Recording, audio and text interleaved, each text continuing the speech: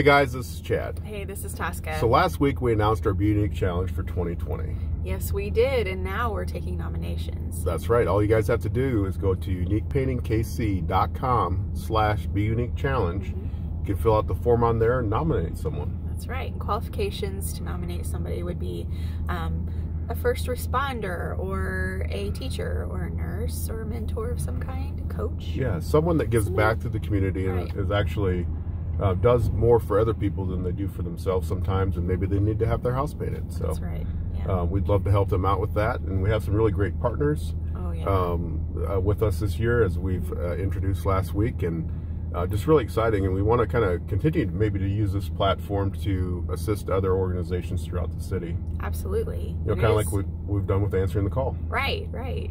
And it is a challenge, so we challenge all of you to give back to the community in some way. And you don't have to be a painter to do that. You could just be anybody, you know? Just be a nice neighbor. Just be kind, you know?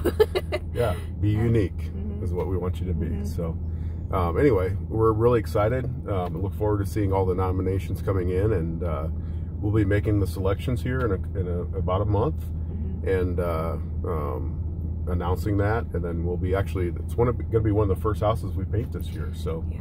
That's exciting. I don't know. It was, it was real. It's yeah. I'm glad we're doing this, and uh, it's just a great way to give back to the community. And absolutely. Um, yeah. So hey, what can you do for your community?